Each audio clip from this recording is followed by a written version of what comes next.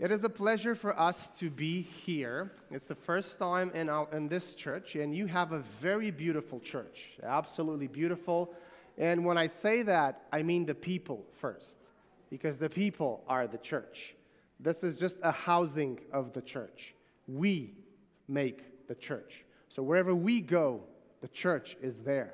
That is why I keep inviting people. I know that now, after the pandemic, it's so easy to be at home and watch whatever preacher you like because you maybe just don't like your preacher. Oh, I know one that preaches better than him. But whenever you go, you stay at home and you watch online, you're missing the energy of worship. You're missing on meeting with God because you meet with God as you meet with other people. Our meeting with one another becomes the meeting with God. So that's why I insist and I encourage you to come here and participate in this worship together. Yes, as Pastor Joseph mentioned, we've known each other for more than 20 years. We went to the same uh, uh, college back in Romania. We worked in the conferences together. He was in a different conference than I was, but the, our respective departments, the education departments, worked together. And we've, we've shared our intellectual journey a lot in these years that have passed. And he is right. I've been interested in this topic. I was actually trying to ascertain when was the date that I, that I, got really hooked by this. And it was probably 27 years ago. Um, I first encountered Henry M. Morris's book, Scientific Creationism, when I was a teenager. I was 13 or 14 at that time. And I got hooked by this topic. I was amazed at the world we live in. Now, as I grew, you know, in my understanding, I don't necessarily agree with everything Henry M. Morris said, and I don't even wholeheartedly recommend that book. It's outdated and it has some philosophical issues that we will discuss. But let's stay with this. the world we live in is absolutely amazing. Because I don't know if you've ever been at night outside and just watch the skies. Maybe you're not a geek like I am, but I used to do that a lot when I was in high school. Uh, I just had a, I didn't have a telescope at that, ta- at that time. I just had a map of the stars. And I would just go out and look at those wonderful things. The heavens, the Bible says that the heavens declare the glory of God. The skies proclaim the work of his, hand, of his hands.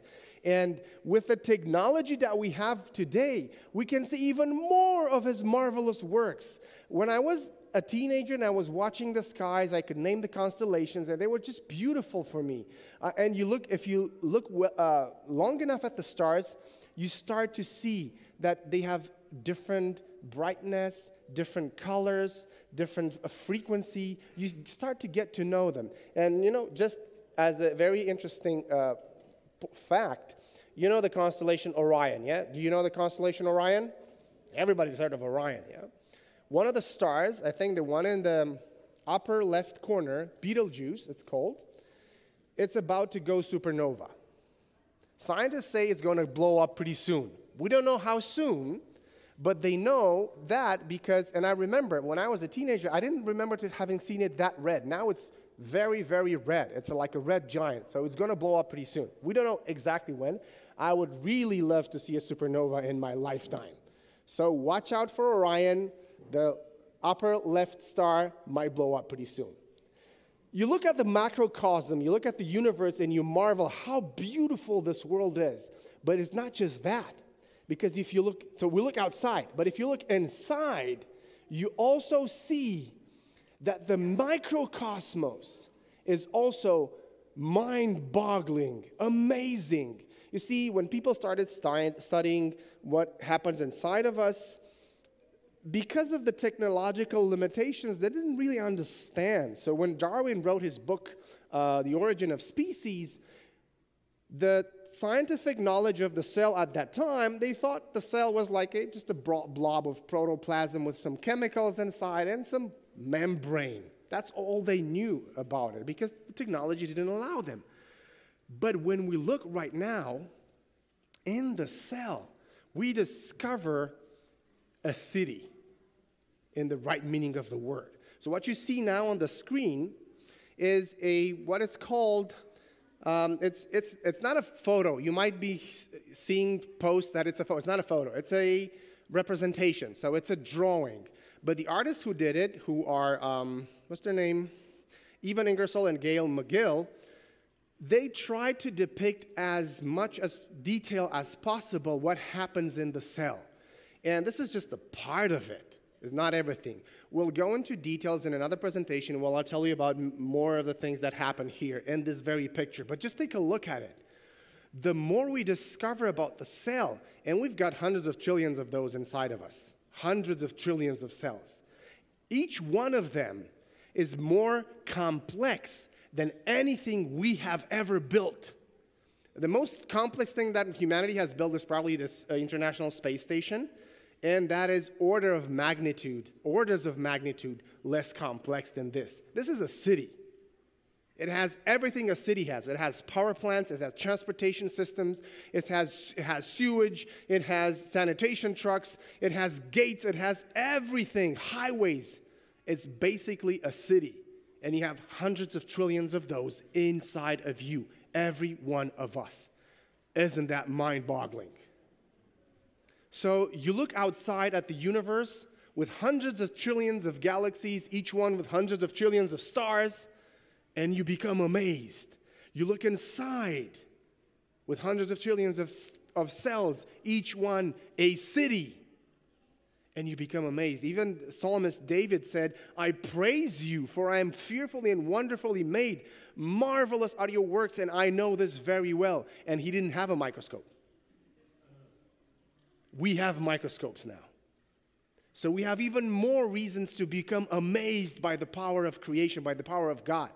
So the reality is, we live in a very complex and beautiful world. And of course, because we humans are curious, the next question that is going to pop in our mind and that has been popping in the mind of humanity since its inception is what? How did we come to be? That's the question. How did we how do we do that? How does this world how does it exist? Why? It did, it, did someone make it or did it just appear? Well, there's only two broad possibilities. That's it. You don't have more than just two. Just two, big. There's more inside of them, and we'll talk about it. But there's just two broad possibilities. Either everything that exists appeared and developed by itself from nothing, or there was a creator that exists through himself since eternity, and he created everything. There are no other possibilities. Now, these two possibilities are not singular, okay? These are, these are just the ends of a spectrum. Depending on how much the two get combined, you get many other possibilities between them. And I want to talk about them a little bit. Actually, I want to stop a bit and just want to tell you that this presentation today has three parts. So, this first part, we're going to go, we're going to survey what are the main theories about origins in the church and outside of the church. And I would like each one of you to see if you can identify with one or two of these options that I'm going to present right away. So, this is the first part. The second part, I want to talk about some of the challenges that we face as a church, uh, as people of faith with science and why it is important to talk about these things. The third part is how we can talk about this. We're going to discuss about some things of how to relate to this very uh, uh, this topic that is very intimidating. I mean, science is not easy. You look at uh, biomolecular uh, uh, molecular biology, you look at quantum physics, science is hard. And the topics of origin is even harder because it's a multidisciplinary topic. You need to know many sciences to deal with this thing. So I want to just give a little bit from the Bible, some advice on how to deal with this. And we're going to go to a young man who lived 2,600 years ago. And we're going to see if we can learn something from his, his experience. But until then, let's look at this spectrum of theories of origins. And I want to ask you to, to see if you can identify with with what I'm presenting here. So there's basically, there's several subcategories. These are just a few of them. Uh, I can't mention all of them because, of course, we're going to spend all week talking about that. But starting with one end of the spectrum, when God creates everything directly, you have what is called young earth creationism. So basically, young earth creationism says that God created everything, the whole universe, fairly recently, 6,000 years ago. Those are, really, really staunch creationists. They say 6,000 years ago. Some say eh, maybe 10,000 years ago.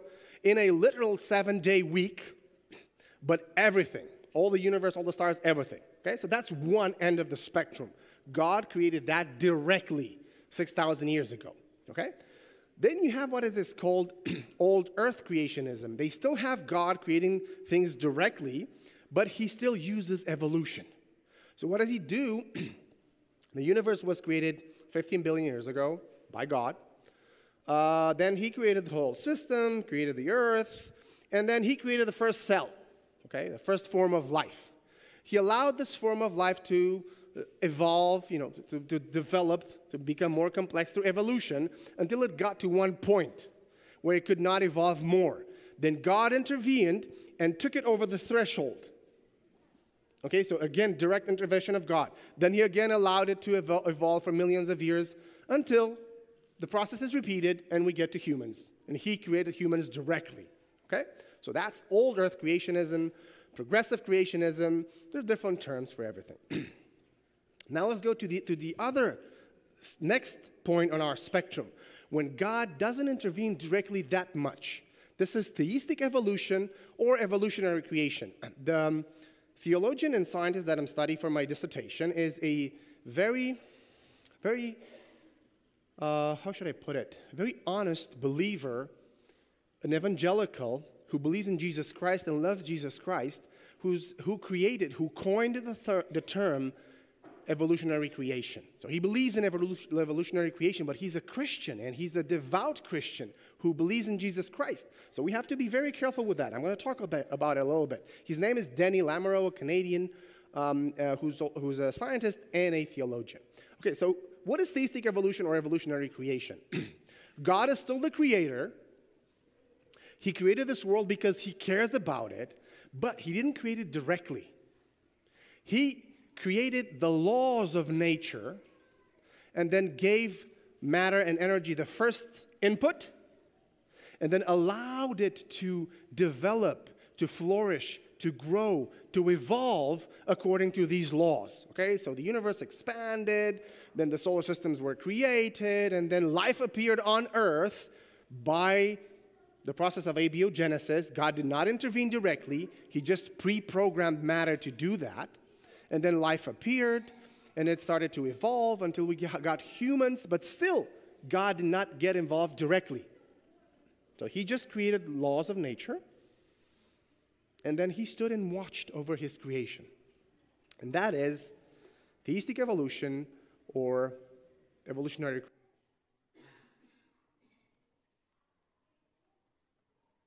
The next step is deistic evolution. There's not a lot of people who believe that anymore. Maybe some very um, ends uh, on the end of the spectrum of liberal theologians, but most liberal theologians today would be theistic evolutionists or evolutionary creationists. They're not deistic evolutionists. This is just maybe the 18th, 19th century when people still believe that God created everything, but he just didn't care. Created everything and then he left. And he just, creation developed on its own he was distant from the world. He doesn't care about the world anymore. That's deistic evolution. You'll find that in some, in some literature. And then, of course, we get to the atheistic evolution, or the way Denny Lamoureux puts it, I like this word, dysteleological evolution. Okay, this is a crazy word. We don't use that in, in common language, but whenever you see the word telos, teleological, you see, that comes from the word Greek, which means purpose. Okay? So whenever you see that word, it means either with purpose, teleological, or without a purpose, dysteleological evolution. So that's how we unpack this crazy word that we're never going to use, but maybe you find it in the literature. So that means, of course, that the world, the universe, just appeared by itself to the Big Bang. It just developed. There's no creator. nobody to watch over it. The laws of nature just appeared on their own. Because of those laws of nature, life appeared at one point on a planet, happened to be ours, and then it developed, and here we are. So, this is what mainly people believe about creation. Um, what do you think? I'm not going to ask you to raise your hands, but just look at it, this list. Can you identify yourself in a position somewhere there? Uh, I'm not in any of those. I'm going to tell you at the end where I am. Because that's going to be the model of, the, of my uh, dissertation, uh, of my dissertation. It's a new model of creation.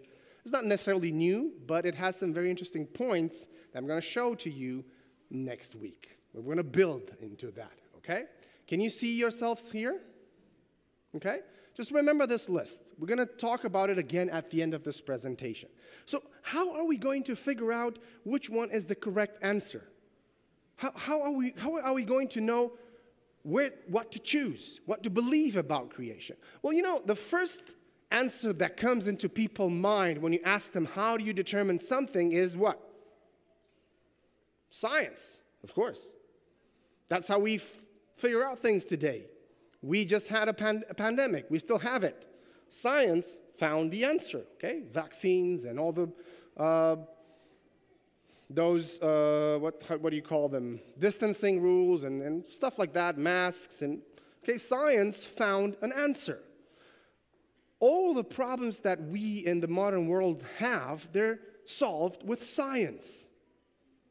Okay, science found new means of transportation, planes, that's why it took us only five and a half hours to fly from Miami to uh, Los Angeles and not two days driving by car. Because some scientists, 100 something years ago, discovered the effects of the law of aerodynamics.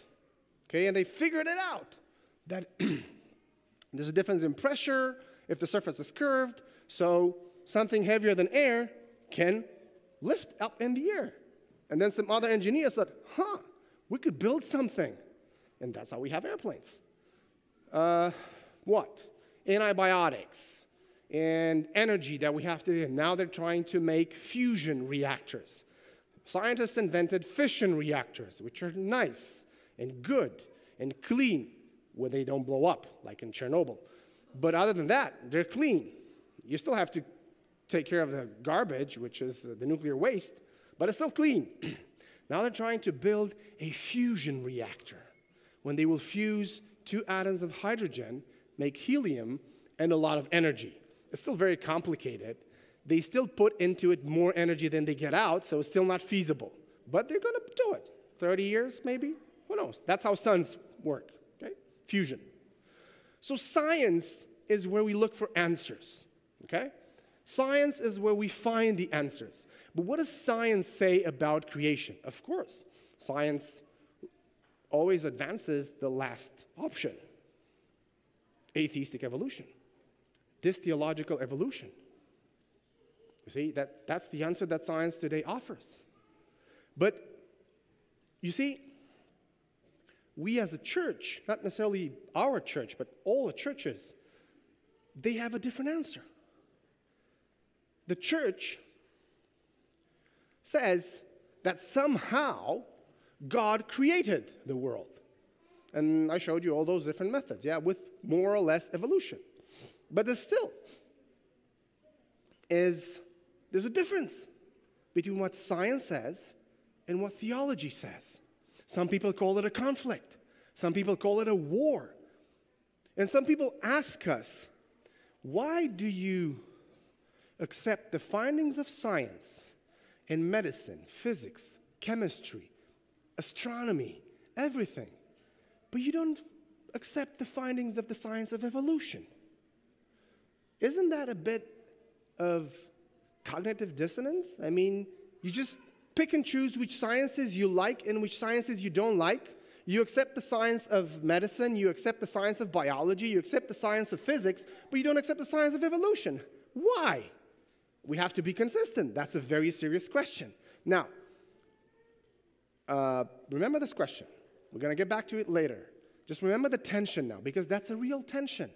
And I'm going to explain it a little bit, but before that, let's just look at some of the percentages of people who, uh, you know, I don't think you can see it that much, who um, believe there's a conflict between science and religion. There's basically 55% of adults in the United States that believe there's a conflict between science and religion.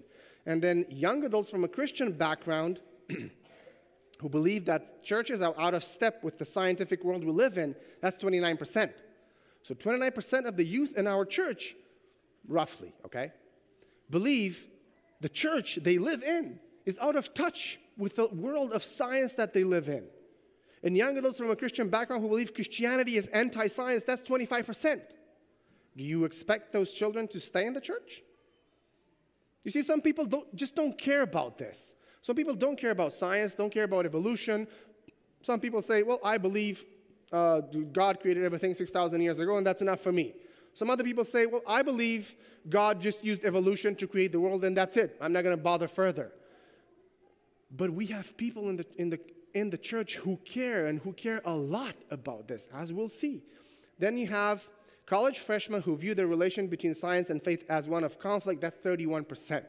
So you see, almost a third of people, of young people, they don't identify with the message that the church has regarding creation. What do you think is going to happen with them? And the problem is even more complicated for us as a church, for the Adventist church, because we believe so much in science. We have hospitals. Actually, we have some of the we have the largest Protestant chains of hospitals in the United States. Because that's how much we believe in, in, in the science of medicine. But in the same time, we don't accept the science of evolution.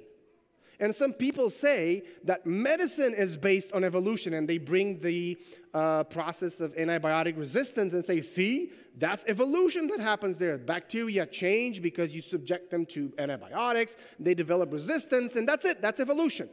Remember this thing. We're going to get back to it on Monday night, okay? Not going to answer it tonight. But remember this tension. The tension is there, is real.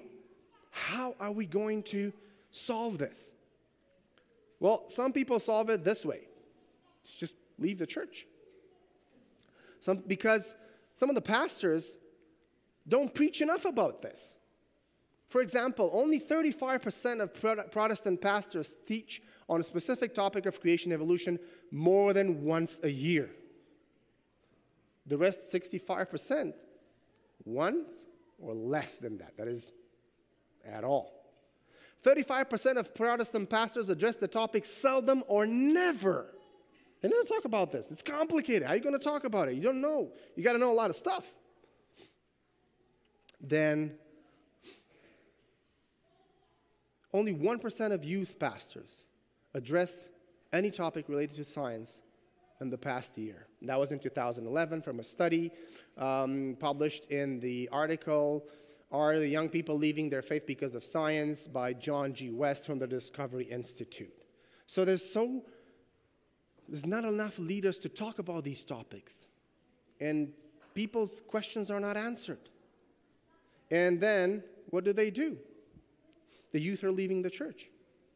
32% of Americans unaffiliated with any religion believe that modern science proves religion is a superstition. And the percent, percentage goes up among the Protestants, mainline Protestants, to 39%. And 59 to 70 of young people who regularly attend church within 10 years will drop out of organized religion. Some of them will come back. But you see how much this has to deal with, with the topic of science and religion. And then you have Richard Dawkins bringing this into the discussion. Come on, Dawkins. There you go.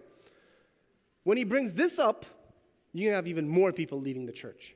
He says it is absolutely safe to say that if you meet somebody who claims not to believe in evolution, that person is ignorant, stupid, or insane, or wicked, but I'd rather not consider that.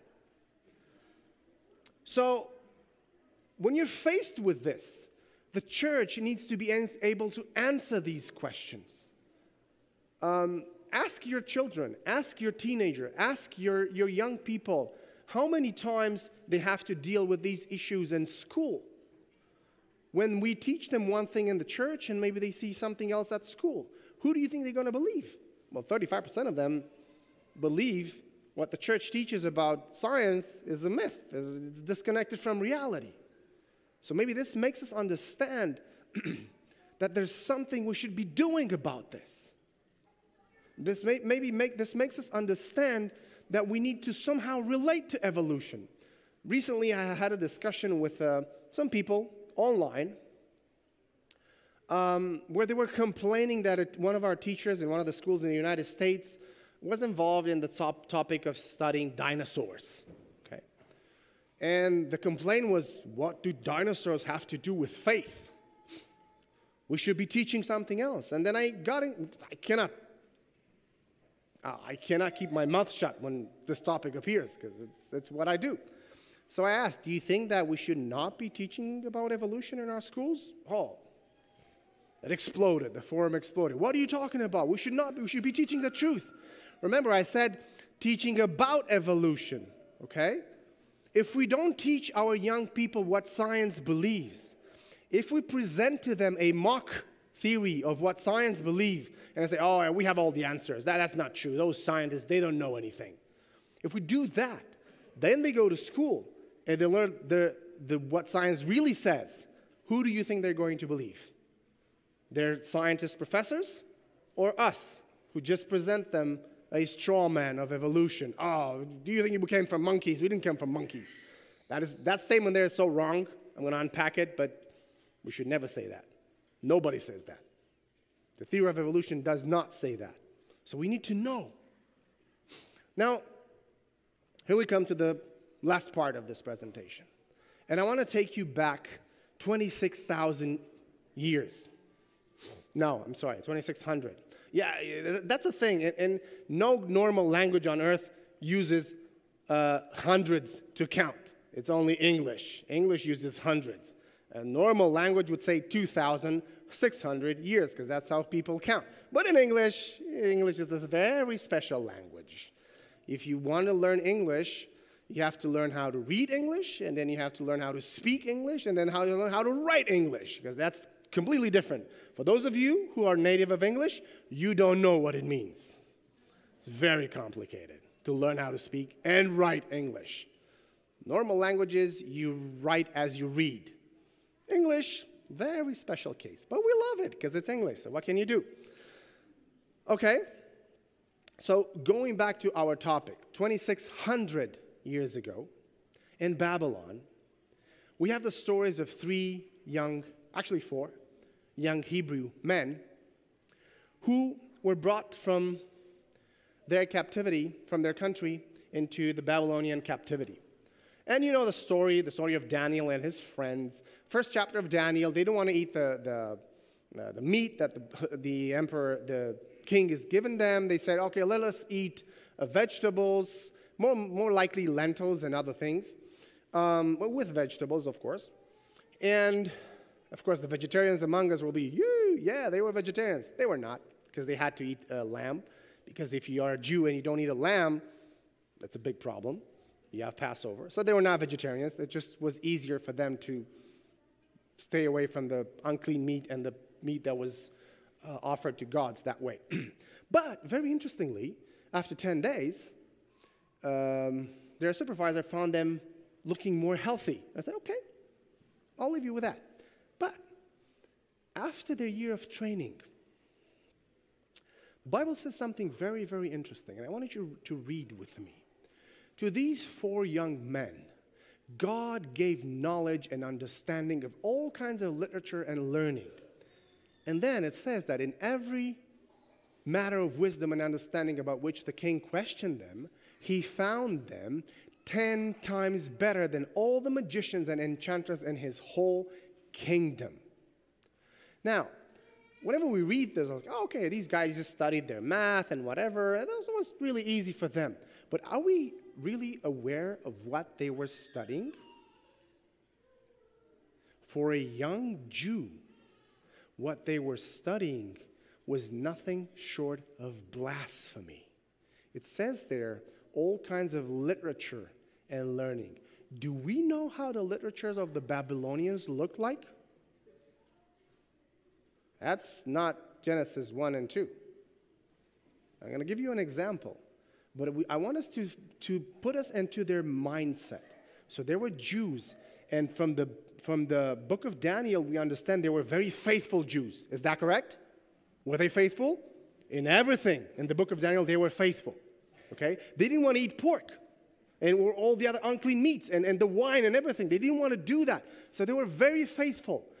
However, they understood something very, very interesting that you need to know the errors of others if you are ever going to present your case to them.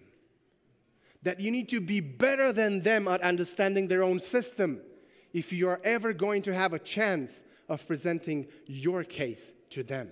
That you need to understand how they think and what they know in order to be able to gain the philosophical problems that they have and present your case better. I'm going to give you an example, and you all know this, it's nothing new. You've probably heard of Enuma Elish, okay, which is literature of that part, Sumeria, Babylonia, and that presents the, the myth of creation. Enuma Elish are the first two words, which mean, mean when above. That's how the, that, that thing starts. And this is what it reads. Now, Marduk, Marduk was not one of the main gods, but because Marduk was the god of, of, of Babylon, you know how it happens. It got, he got elevated to the, to the prime role. He was the, the hero of the gods. Let's see what Daniel and his friends were studying in Babylon, and let's see the things at which they were 10 times better than the sorcerers. this is just one of the things. the text reads Marduk spread out his net to enfold her. That's Tiamat. There, there. It's another god. The evil wind which followed behind, he let loose in her face. When Tiamat opened her mouth to consume him, he drove in the evil wind that she closed not uh, her lips. Give me a second. Fierce winds charged her belly, her body was distended, and her mouth was wide open. He released the arrow. It tore her belly. It cut through her inside, splitting her heart. Having thus subdued her, he extinguished her life. He cast down her carcass to stand upon it. The power, her power was broken, her army scattered. With his unsparing mace, he crushed her skull. He split her like a shellfish into two parts. Half her her he set up and sealed as the sky. Now, here, the tablet on which this is, is written is broken, and we don't know what he did with the other half, but we assume he made the earth with it. That's what they were learning in Babylon. This is their creation myth. One God kills another God, and with her body, he makes the sky and the earth. So unlike the Genesis narrative. However, Daniel and his friends learned this 10 times better than all the sorcerers. They didn't say, Oh, I'm not going to study that because that's, that's heresy, that's blasphemy. I am, a, I am a devout Jew. No, they didn't say that because they understood you have to know the other systems of interpretation if you're ever to present a solid case for yourself. Now, here comes the creation of mankind. Um, no, no, the other one. Come back, go back. Okay, when Marduk hears the word of the gods, his heart prompts him into to fashion artful works. Opening his mouth, he addresses Ea to impart the plan he had conceived in his heart. Blood will I mass and cause bones to be. I will establish a savage. Man shall be his name. Verily, savage man will I create. He shall be charged with the service of the gods, that they may be at ease. This is how the Babylonians thought man was created. So unlike the biblical narrative. In the biblical narrative, and we'll talk a little bit about this, God creates everything through his word. Question could he have created humankind the same way? Could he have said, Let there be mankind? What do you think? Could he? Of course, he's God. But mankind was so important to him that he just wanted, I'm going to do this myself. You know, like, like, an, like a chef who gives orders to his uh, kitchen. Okay, you cook that, you cook that. But the meal that he likes the most, like, get out of my way. I'm going to do this myself. That's how I see God. He says, okay, I'm going to do this myself. So he stoops down, takes earth, and he builds humanity with his own hands. Why? Because he wanted a relationship with humanity. Remember in chapter 3, God walks through the window of the garden and says, Hey, Adam, where are you? Where you at? Come here. We got to talk. God creates humankind for a relationship. In the Babylonian myths, the gods create human, humans because they just want to be at ease. They're too lazy. I don't want to do that work. Let's just put the humans to bring all the food and stuff because, ah, you know, you know how that works. Yeah, politically. So they put into the minds of people that they should be sacrificing to the gods. And all those sacrifices would go to the temple. So the, the priestly caste would retain power. So you can see how it, that it's built. It's built because of political purposes. But the biblical narrative is different. It presents a God who wants to enter in a relationship with you personally. And that's why he fashions humankind from, from the dust of the earth because he cares about us. And they had to study that. Not only that, but all kinds of sorceries. In Babylonia, one of the methods of divination, besides the astrology and stars, was the divination in animals' entrails. Okay, so they would just cut a sheep, take all the intestines, splash them on a the table. Hmm, what does the future look like? Oh, yes, this liver shows that the, that's the deal. That's what they would learn. And Daniel and his friends learned that. Now, don't you think that we should know, even if you don't agree with evolution, it doesn't matter what, what you believe about evolution or not, if you believe in evolution or not. And we're going to talk about this throughout the week. But don't you think you should know what evolution says? Don't you think we should teach our children, okay, this is what science says about the world, and this is it, okay? If you believe in it or not, that's a different thing. If I'm going to teach about evolution, I'm going to teach it rightly with the strengths of evolution and with the weaknesses of evolution. Nobody teaches about the weaknesses of evolution in school. They don't, they don't do that because they might think, oh, but people will not believe it. Doesn't matter. If it's true, it's true. You got to teach it with strengths and weaknesses. And I believe that our schools are best fit to do that. You see, Paul, writing to the Thessalonians, he told them, Test all things and hold fast to what is good. There you go. Test all things. Know all things. When did ignorance ever do anyone any good? Oh, I don't want to know about evolution. Maybe I'll get led astray. Well, that's a different issue, but you got to know. You have to know what other people are thinking because we need to answer questions. We need to allow our young people to ask questions in the church. And it's okay to say, I don't know, let's find the answer together, instead of saying, oh, don't ask about those stupid things, because they're not going to stop asking. They're just going to stop asking you. And They're going to ask somebody else who maybe is not going to give them a balanced position. It, is, it depends on us. I know it's difficult. but We have to do whatever is in our power to know more than what we know. If you are an, people who, a person who doesn't believe in evolution, when you engage in dialogue with somebody who believes in evolution, you have to be able to correctly represent his position. As I said, don't tell him that, oh, you evolutionists all believe that people evolved from monkeys, because that's not true. They don't believe that the correct representation is that humans and apes, okay, not monkeys, apes, come from a common ancestor. That's what evolution teaches. It's not that people come from monkeys. Don't build straw men, because then they'll say, You don't know anything about evolution. Why should I listen to you? Go read.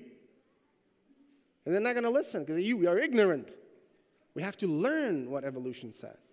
And if you believe in evolution and you believe God used evolution, don't believe, like Denis Lamoureux and others, that the Bible teaches about the earth being, no, that the heavens is like an inverted metal bowl. That never, they never teach that. That's false. There's a very interesting article by Randall Younker and Richard Davidson who show that this invention that most theistic evolutionists use to discard the creation story is fake. They didn't even believe that. It was invented in the 19th century by some German historians and theologians. So you got to know what your dialogue partner knows. Remember, I'm not saying your opponent, because those that we engage with are not our opponent. They are our dialogue partners. Even if you believe something else than I believe, you're not my opponent. I might be able to learn something from you. Because when you engage in dialogue with people that you don't agree with, that's fine. They show you your blind spots. Everybody has blind spots. Everybody has philosophical assumptions that they make about the world. Some of them are true, some of them might not be true. So when you engage in dialogue with people that you don't agree with, they show you your weaknesses, they show you your blind spots. Jesus said, talking to the disciples, Jesus told them, You shall know the truth, and the truth shall set you free. Never be afraid of the truth. We should never be afraid of the truth.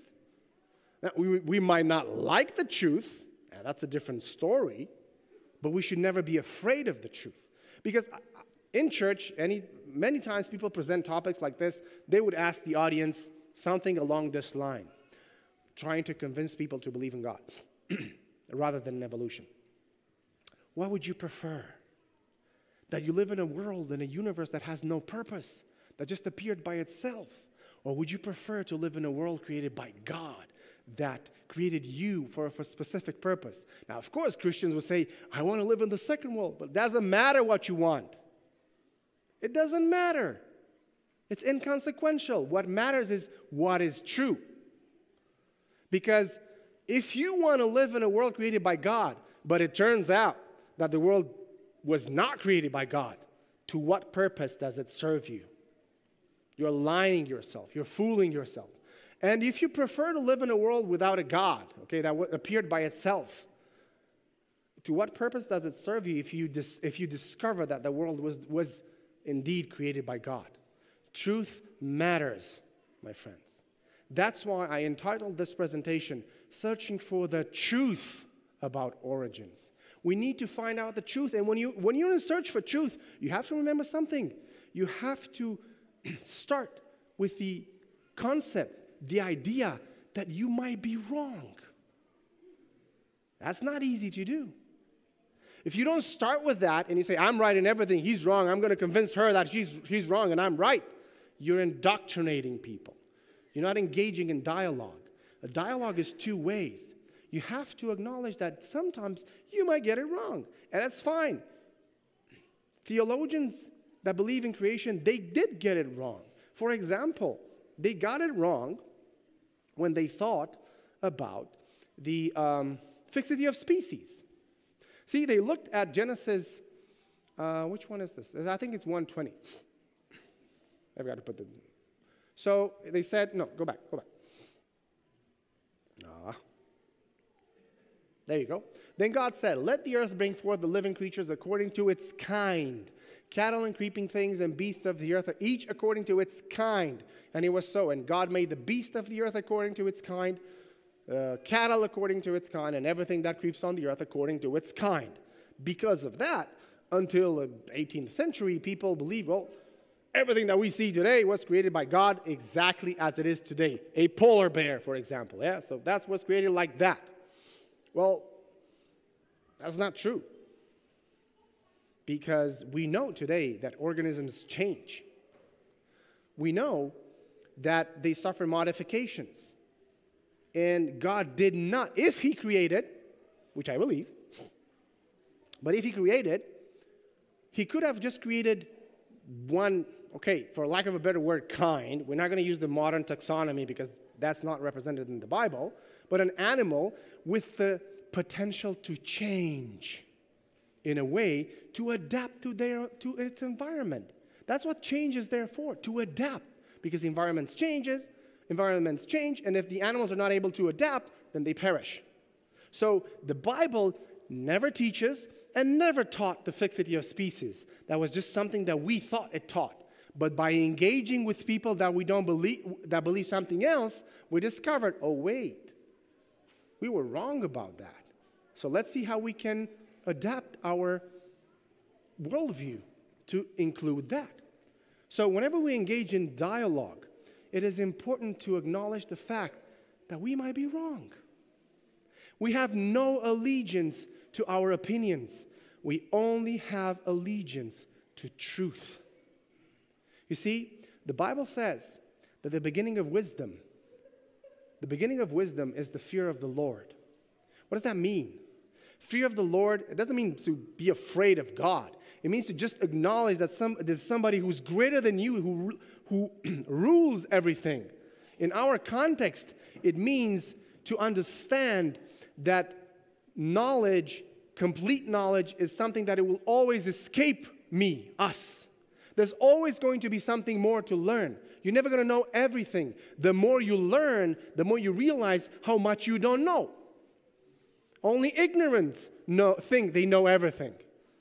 The more you study, the more you realize, oh, wait, I got to know that and that and that. There's so much to learn. so,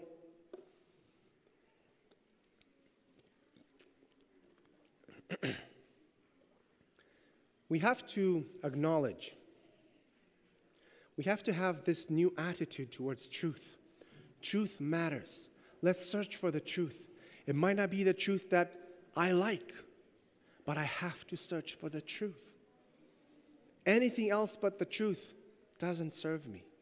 And we have to respect the, our dialogue partners. You see, many times in churches, evolutionists are portrayed as nothing less than devil worshippers. It's like, oh, these evolutionists, they try to destroy our faith. When the reality is, that most evolutionists are normal people who just don't believe in God and they, want, they have their own explanation about life. And theistic evolutionists or evolutionary creationists, most of them are very devout Christians.